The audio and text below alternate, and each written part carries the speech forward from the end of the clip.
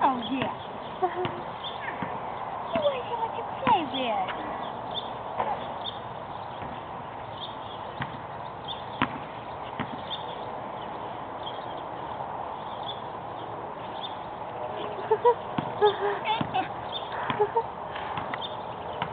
yeah.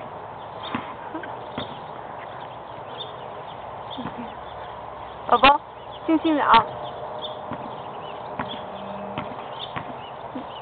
Mm-hmm.